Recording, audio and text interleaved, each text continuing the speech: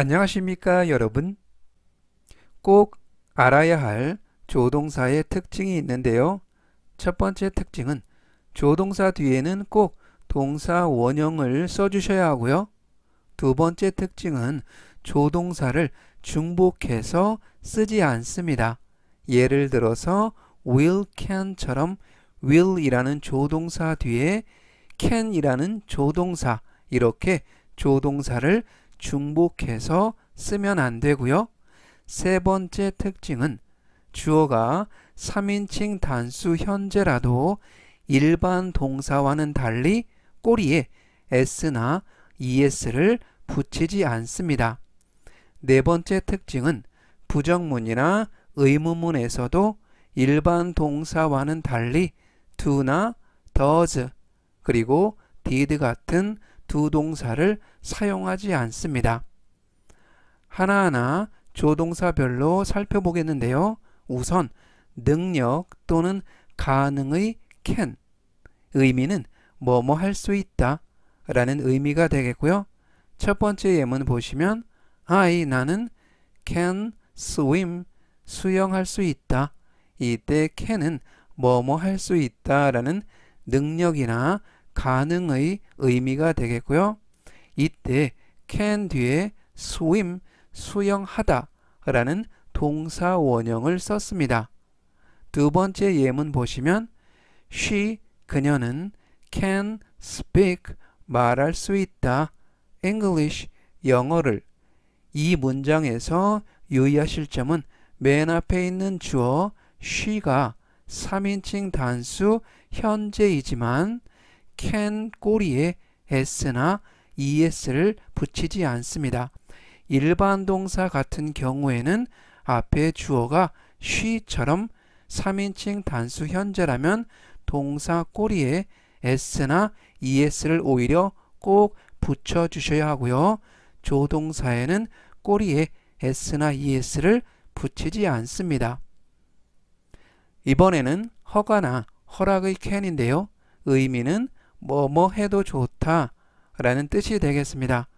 첫 번째 예문 보시면 you, 너는 can 해도 좋다 come인 하면 들어오다 그래서 you can come in 들어오셔도 됩니다 라는 허락 또는 허가의 의미가 되겠습니다.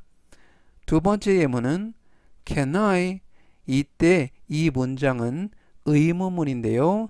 일반 동사 같은 경우는 의문문을 만들 때 do 또는 does 또는 did를 맨 앞에 써서 의문문을 만들지만 조동사인 경우에는 do나 did나 does를 쓰지 않고 이렇게 맨 앞에 조동사를 보냄으로써 의문문을 만들 수 있습니다. 즉, can I 내가 뭐뭐 해도 될까요? is this 이것을 사용해도 될까요? 라는 의미가 되겠습니다. 이번에는 의무 또는 필요의 must인데요.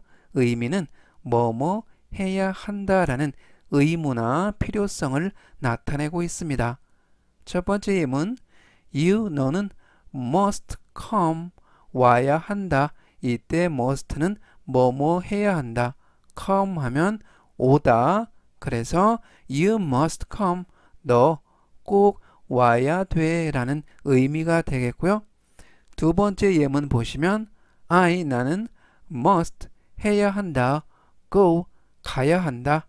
home 집으로 또는 집에 now 지금 그래서 이 must는 뭐뭐 해야 한다라는 의무 또는 필요의 의미가 되겠습니다.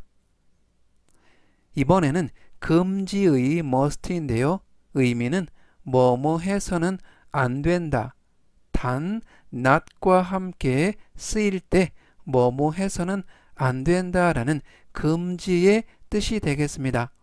첫 번째 예문 보시면 you 너는 must not 뭐뭐 해서는 안 된다. open 열어서는 안 된다. it 그것을 그래서 you must not open it 너 그거 열어보면 안 돼라는 금지의 의미를 나타내고 있습니다. 두 번째 예문 보시면 I 나는 mustn't go out 이때 must not을 줄여서 즉 축약형으로 mustn't 라고 사용할 수 있고요. go out 하면 밖으로 나가다, 외출하다. 그래서 mustn't go out 외출하면 안 돼. at night 밤에 I mustn't go out at night 나는 밤에 외출하면 안 돼. 라는 금지의 의미가 되겠습니다. 이번에는 허가 또는 허락의 may인데요. 의미는 뭐뭐 해도 좋다. 그래서 좀 전에 설명해 드린 조동사 can, 허가나 허락의 can과 동일한 용법이 되겠고요. 첫 번째 예문 보시면 May I come in? May I 내가 뭐뭐 해도 될까요? come in 들어가도 될까요? 그래서 이때 may는 뭐뭐 해도 될까요? 라는 허락이나 허가의 의미가 되겠습니다. 두 번째 예문 보시면 you 너는 may 해도 좋다. read 읽어도 된다. my letter 나의 편지를 즉 you may read my letter 너는 내 편지를 읽어봐도 돼 라는 허락의 may가 되겠습니다. 이번에는 추측의 may인데요. 의미는 뭐뭐일지도 모른다는 모른다 라는 약한 추측의 의미가 되겠습니다. 첫 번째 예문 보시면 It may rain soon. 이때 맨 앞에 있는 it은 날씨를 나타내는 비인칭 주어 따로 해석을 하지 않고요. may rain 하면 비가 올지도 몰라. soon 곧. 그래서 뭐뭐일지도 몰라. It may rain soon. 곧 비가 올지도 몰라 라는 추측의 의미가 되겠습니다. 두 번째 예문 보시면 she 그녀는 may 아마도 뭐뭐일지 몰라 be sick 하면 아프다. 그래서 she may be sick 그녀는 아플지도 몰라 라는 추측의 의미가 되겠습니다. 이번에는 미래 또는 의지의 will인데요. 의미는 뭐뭐일 거야 또는 뭐뭐 할 거야 라는 뜻이 되겠습니다. 첫 번째 예문 보시면 it 이때 it 역시 날씨를 나타내는 비인칭 주어로 따로 해석을 하지 않고요. will snow 눈이 올 것이다.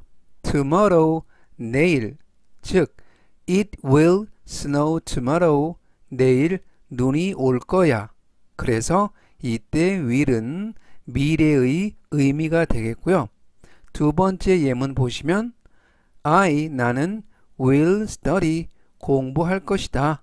hard 열심히 그래서 나는 앞으로 어떻게 할 것이다 라는 의지의 will이 되겠습니다. 이번에는 의무 또는 당위의 should인데요. 의미는 당연히 뭐뭐 해야 된다 라는 뜻이 되겠습니다. 첫 번째 예문 보시면 I 나는 should help 도와드려야 한다. 이때 should는 당연히 뭐뭐 해야 한다. My mom 나의 엄마를 그래서 I should help my mom 나는 엄마를 도와드려야 해 라는 뜻이 되겠고요. 두 번째 예문 보시면 we 우리는 should 해야 한다. keep 지켜야 한다.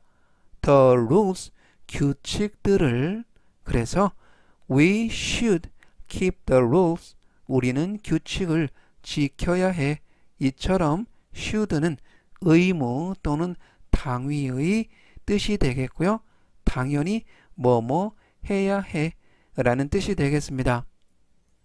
이번에는 정중한 표현의 would인데요. 첫 번째 예문 보시면 would you do this?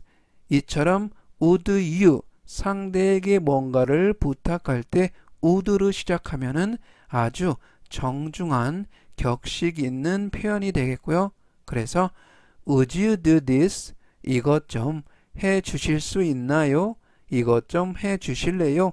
라는 뜻이 되겠습니다.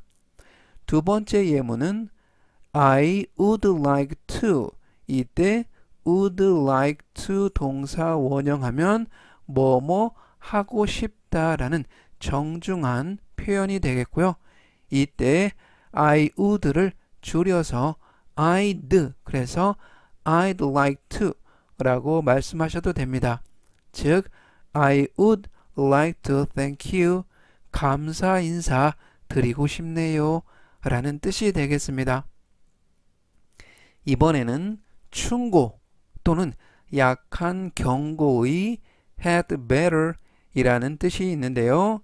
첫 번째 예문 보시면 you 너는 had better 뭐뭐 하는 게 좋겠어.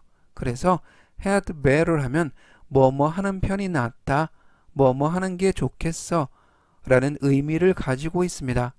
start now 출발하는 게 낫겠어. 지금 이때 had better 다음에는 당연히 동사 원형을 써 주셔야 하고요.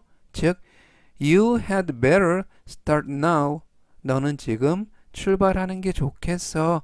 라는 충고의 의미가 되겠습니다. 두 번째 예문 보시면 You, 너는 had better 뭐뭐 하는 편이 낫겠어. take some rest 하면 약간의 휴식을 취하다. 그래서 You had better take some rest. 너는 좀 쉬는 편이 낫겠어. 무리하지 마. 라는 약한 경고의 의미가 되겠습니다.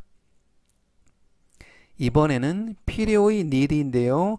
여기에서 유의하실 점은 부정문과 의문문에서만 need가 조동사로 쓰이고 긍정문이나 일반 평서문에서는 need는 조동사가 아닌 일반 동사로 쓰입니다. 첫 번째 예문 보시면 you 너는 need not 이때 not이 붙어서 부정문이 됐고요. 그래서 need not 동사 원형하면 뭐뭐 할 필요가 없다. need not hurry 서두를 필요가 없다. so 그렇게 즉 you need not hurry so 너는 그렇게 서두를 필요 없어 라는 뜻이 되겠습니다. 두 번째 예문 보시면 need I go there 이때 의문문이라서 need가 어, 조동사로 쓰였고요. 조동사면 의문문을 만들 때 맨 앞으로 보내면 의문문이 됩니다. 즉 need I go there 내가 거기에 갈 필요가 있을까? 라는 의미가 되겠습니다. 실력 확인 퀴즈인데요. 1번 퀴즈 보시면 우리말로 내가 설거지 할게 라는 뜻이 되겠고요. 그래서 I 빈칸 do the dishes 이때 do the dishes 하면 설거지 하다. 그래서 1번 퀴즈에는 어떤 단어가 들어갈까요? 2번은 I 자 빈칸 ride a bike 이때 ride a bike 하면 자전거를 타다. 우리말로 나는 자전거를 탈 수 있어. 이번 퀴즈에는 어떤 단어가 들어갈까요? 정답을 알아보겠습니다. 1번은 will. 그래서 내가 뭐뭐 할 거야. 내가 뭐뭐 할 것이다. I will do the dishes. 내가 설거지를 할 것이다. 2번은 can이 들어가서 I can ride a bike. 나는 자전거를 탈 수 있다. 뭐뭐 할 수 있다의 can이 되겠습니다. 계속해서 실력 확인 퀴즈인데요. 3번은 우리말로 나는 숙제를 끝마쳐야 돼 라는 의미가 되겠고요. 그래서 I 나는 빈칸 finish my homework 이때 finish 하면 끝마치다. my homework 하면 나의 숙제를 3번 빈칸에는 어떤 단어가 들어갈까요? 4번 퀴즈 보시면 우리말로 제가 도와드려도 될까요? 라는 의미가 되겠고요. 그래서 빈칸 I help you 라는 뜻이 되겠고요. 4번 빈칸에는 어떤 단어가 들어갈까요?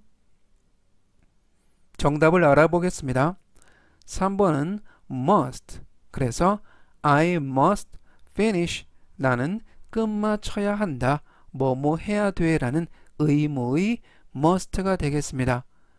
4번은 두 가지가 가능한데요. 정답이 두 개, may 또는 can 두 가지가 가능합니다. 그래서 may I 또는 can I 내가 뭐뭐 해도 될까요? 라는 허락의 조동사가 되겠습니다. 계속해서 실력 확인 퀴즈인데요.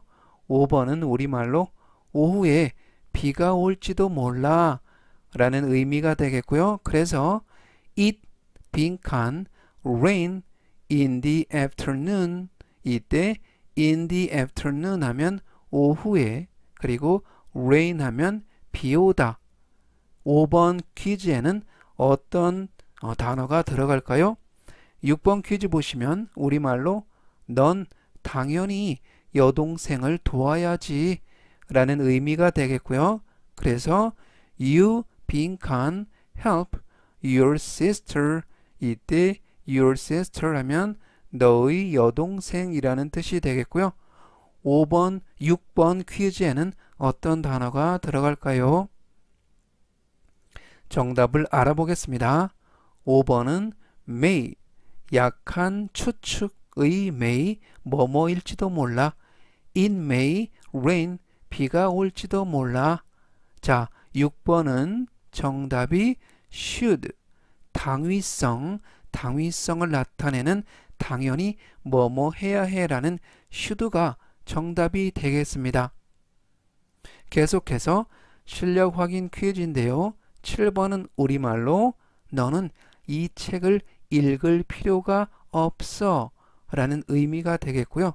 그래서 you 빈칸 not read this book 자 7번에는 어떤 단어가 들어갈까요? 8번은 우리말로 너는 방을 청소하는 게 좋겠어 라는 의미가 되겠고요. 그래서 you 빈칸 clean your room 이때 clean 하면 청소하다 your room 하면 너의 방을 그래서 8번에는 어떤 단어가 들어갈까요? 정답을 알아보겠습니다. 7번은 need 그래서 need not 뭐뭐 할 필요가 없어 라는 부정문이 되겠고요. 8번은 정답이 had better 뭐뭐 하는 게 좋겠어 뭐뭐 하는 편이 낫겠어 그래서 had better clean 청소하는 게 좋겠어 정답은 had better가 되겠습니다. 오늘은 여기까지 하고요. 또 다음 시간에 뵙겠습니다. 감사합니다.